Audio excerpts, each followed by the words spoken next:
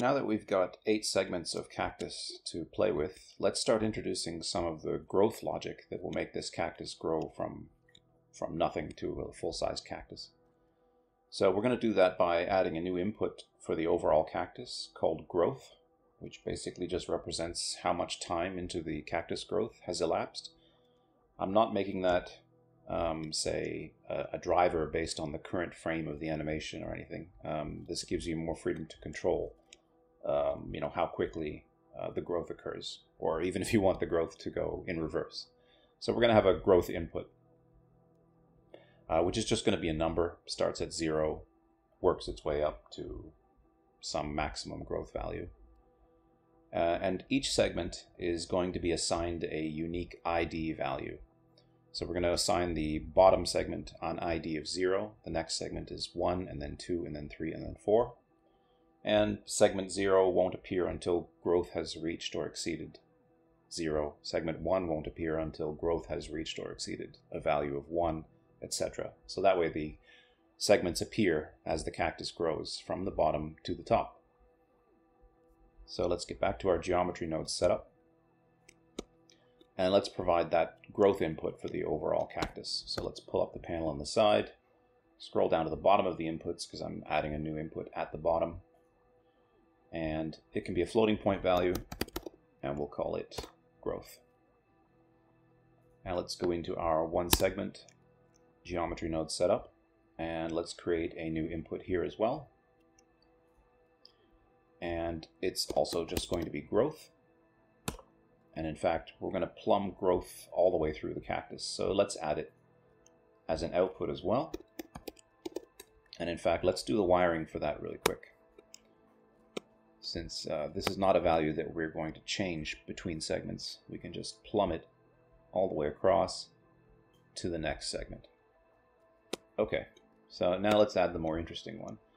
So in the inputs, let's add a new value, also a floating point value. Let's just call it ID. And we're going to add an output, which is the ID for the next segment of the cactus. And that is also a floating point value. Uh, let's call it next ID. And the next ID will just be the current ID plus one. So this will be an easy thing to wire up.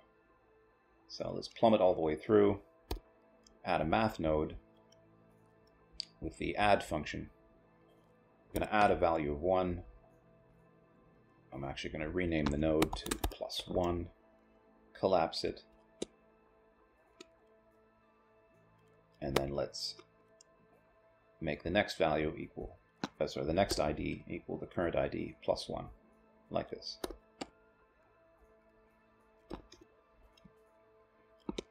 All right. Now what we're going to do is we're only going to add the new geometry that we compute up here at the top if the current growth value is greater than the ID value of the current segment. So let's do that that bit of logic right up here. And that logic requires the growth value of the cactus and the ID value of the segment. Um, and as usual, I'm going to label these. Bring in a compare node.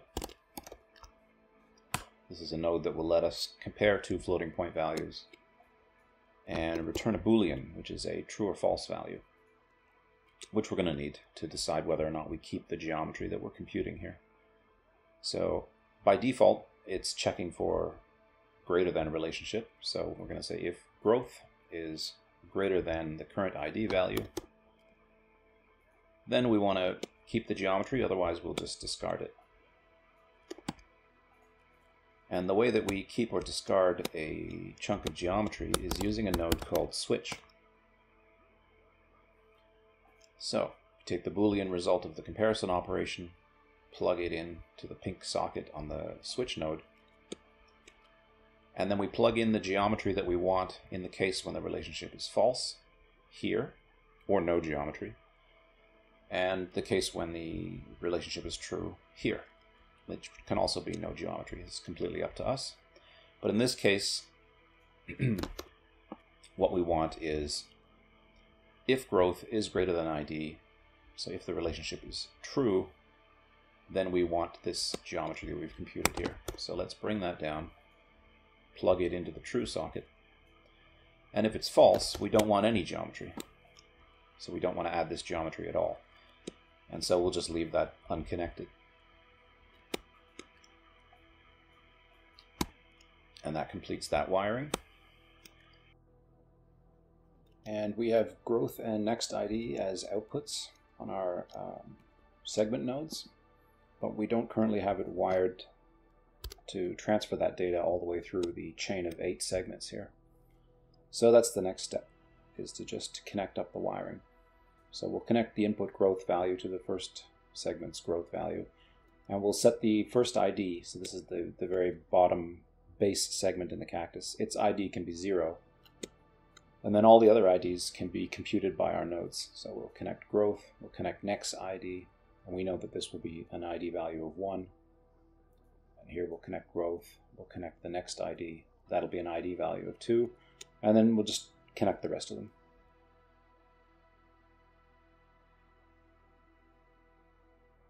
And now if we go back to our layout view, we can see what happens when we play with the growth value of our cactus.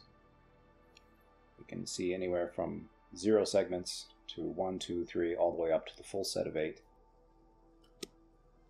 But we would prefer our cactus to have a sort of rounded cap on the bottom and a rounded cap on the top. So let's tackle that as the next job. In order to close up and round off the top of the cactus, what we're going to do is take the tapering that already exists thanks to our shrink factor, and we're going to add some additional shrinking um, to have it sort of very rapidly collapse um, to the point where the top opening is literally sealed shut. And we'll do that with a finite number of segments at the very top of the cactus. Um, so I'm going to go with five segments, but we can make that a parameter.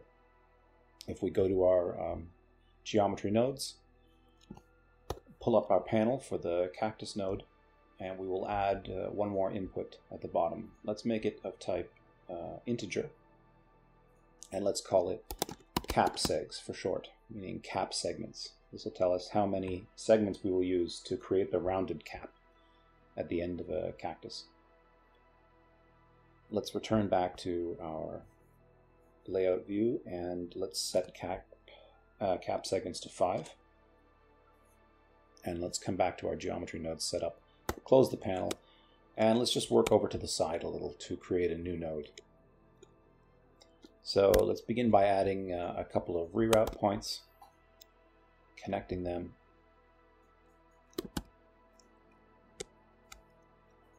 And now between them, let's for now just add two math nodes. And the only reason I'm doing that is so that we can highlight more than one node, right click, select group, and begin working on a new node group.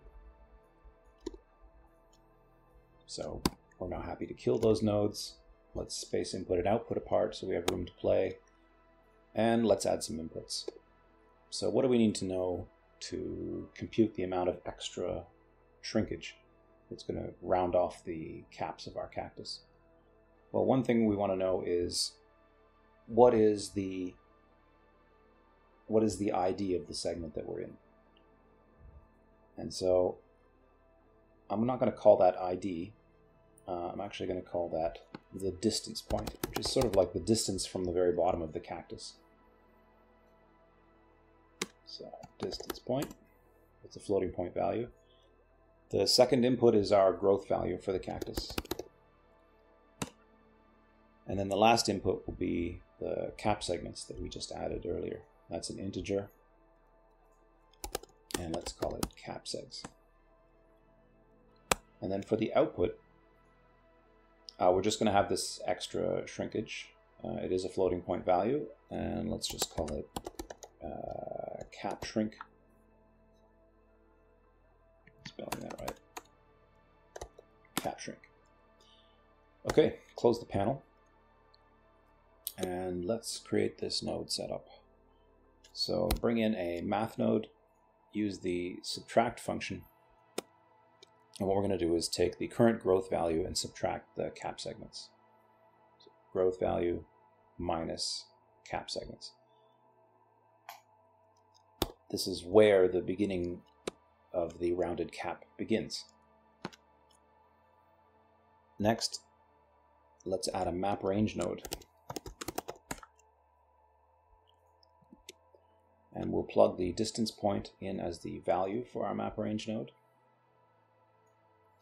The from min will be what comes out of our subtract node. And for our maximum, we will just take the growth value. Cool. We can leave to min and to max as 0 and 1. And the last thing we will add is a float curve node. And what we can do here is pull the left up to the top, pull the right down to the bottom, and plug in the output here into the value socket. And I'm going to leave this as this linear diagonal downward um, curve. But this is something that you can come back to and play with if you want to shape um, how rapidly the cap on your cactus uh, collapses. But from experience, I know that this uh, this will look uh, the way that I like, so I'm not going to tweak it. Plug that in as the output. Let's come back out here and name this node cap adjustment. Next, we'll make use of this node uh, to create yet another node that will output the adjusted values of the segment length and the segment radius. So to be able to highlight two nodes, uh, let's just add a math node, highlight these two, right click and group again, get rid of the math node, create a bit of space, let's cut this link, move this up here for now, and yeah, we're going to have a number of inputs in this node. So starting with the shrink factor.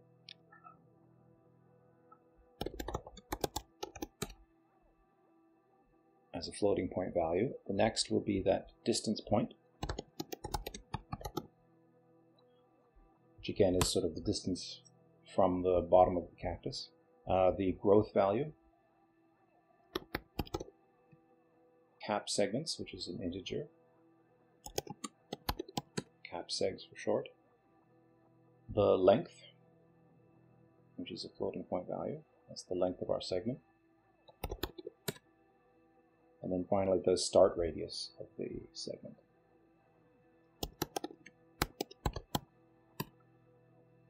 And for outputs, we will have two values, both floating point numbers. The first will be the adjusted length, which I'll just call ADJ length for short. And the second will be the um, adjusted end radius.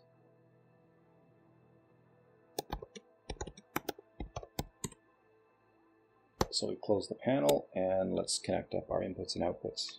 First let's add a math node with the multiplication function. And let's multiply our shrink factor by our start radius.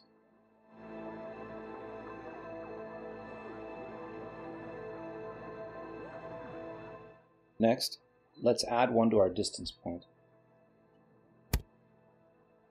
The reason why we're doing this is we want to shrink the top radius of our segment, not our bottom radius. And so the distance from the bottom of the cactus is not the ID value of the current segment, but rather the ID value plus 1. And so if we add 1, and again, I'm going to rename this node to plus 1. I just found it's a little clearer and we'll connect up our distance point, which again is just another word for the ID of our segment. And remember that the IDs count from zero upwards from the bottom of the cactus. I'm just going to rearrange a tiny bit.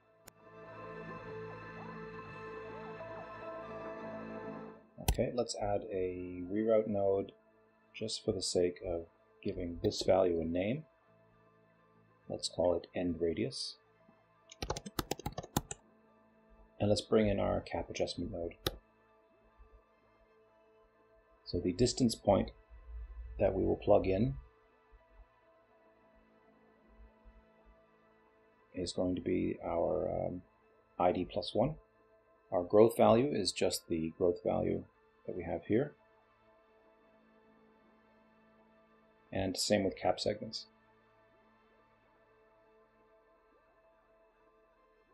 Let's give a name to the output from here.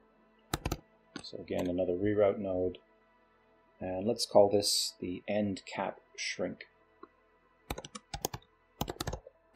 Now let's add two math nodes, both set to the multiply function. And plug end cap shrink into both. Let's use the top one to compute the resulting length. And use the bottom one to compute the resulting radius. And feed those through to our output. Let's get back out of this node to give it a name. Let's call it adjustments. Okay, let's delete the two reroute points. And let's just leave the node here for now. We will be coming back to it.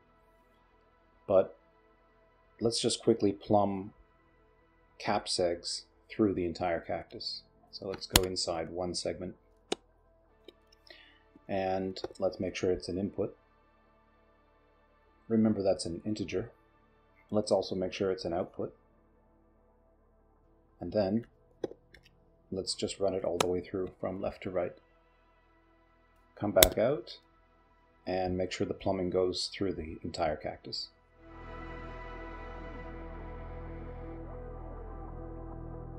Let's go back inside the one segment node group and let's create another new node group. I'm just going to make a little bit of space here. Your layout will be different from mine, um, so you may or may not need to make space. I will. So I want to select the two position vertex nodes, right click and make a new group out of those. Let's quickly come back out. Oops. Let's quickly come back out and give this group a name. Let's call it uh, segment positions. All right, once we're back inside, one of these is the position vertex node that gives us the starting position of a vertex, and the other is the one that gives us the end position of a vertex. So when you create a node group, group like this, Blender is not always the cleverest about looking at incoming versus outgoing um, links and looking for labels. Um, so for example, you'll see that we have two inputs named tilt axis, uh, two inputs named tilt, um, two inputs named radius scaling, even though outside the node they have different labels. So let's pull up our panel and let's get rid of one of those uh, tilt axis inputs since there's only one tilt axis, so we don't need two. And let's just plug that in. Great, so we're using one tilt axis input for both. Now for tilt, um, there are two different tilt values. There's one used for the start, one used for the end. So which is which? Well, they're the last two. So let's jump out and have a look at our node. And we can see that end tilt is coming in first and start tilt is coming in second. So that tells me that this is for the start value and this is for the end value. So I'm going to rename the bottom one start tilt and I'll rename this one end tilt. Next, we have two that are called new center, but we can see that this lower one here goes to this node group, and therefore it's the start center. So let's rename it. And let's rename, rename the other one to end center. Now we have two radius scaling values. Uh, the second one goes to the start, so we'll just call that start radius.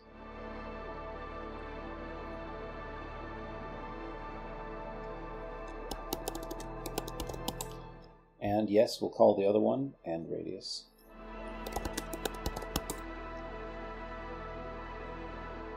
And now we have two values for vertex position. And again, there really is only one vertex position input. We just have two copies of it. So let's pick the second one and delete it. And let's plug it in here. Now I want to reorder the inputs on this node. Starting with the vertex position, which is already first. After that, I want the tilt axis. And then the start center. Then the start radius. And then the start tilt. The end radius is next. Sorry, the end center is next. Followed by the end radius and the end tilt. Okay, this is the order that I want. And for the outputs, let's change the order of them so that we have the start first and the end second. And let's rename them start vertex position and end vertex position. And now let's clean up the wiring.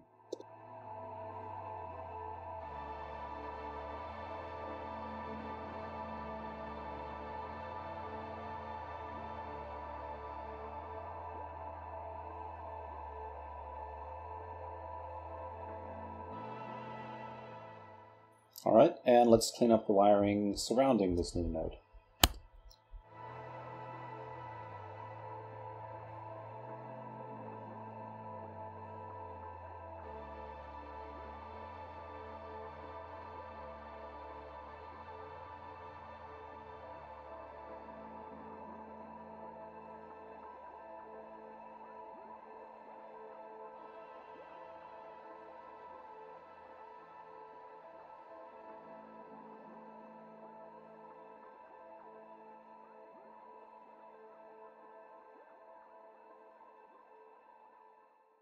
Remember that adjustments node that we created and then seemingly forgot about? Well, we didn't forget about it. It's down here. It's time to make use of that. So it's called adjustments. We can go ahead and delete it from here, get back into our one segment node setup, and then we can search for it and we should be able to find it. There it is. So let's start putting it to use.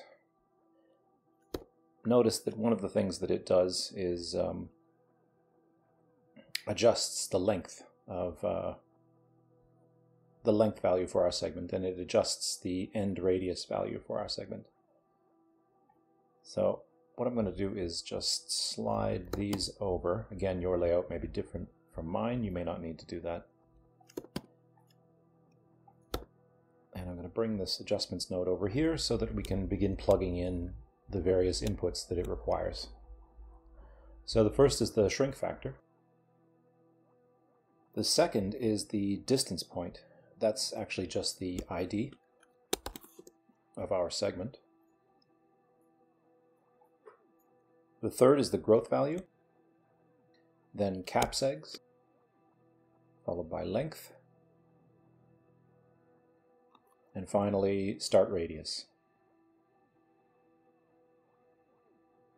Alright, so the adjusted length is the new value of length for the current segment.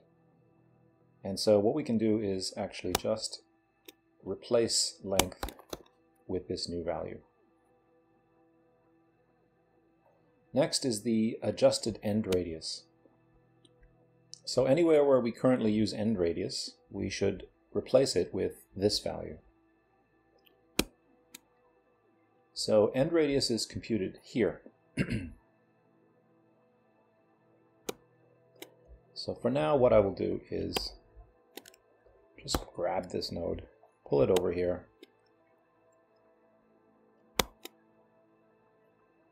and swap out the value that it computes for end radius. And now start cleaning up with this node and working backwards. So hit X to delete it. And I can delete this. I can remove that. I haven't deleted it, I've simply removed it. And that's the extent of the cleanup uh, for that part of this. Let's just clean up the wiring.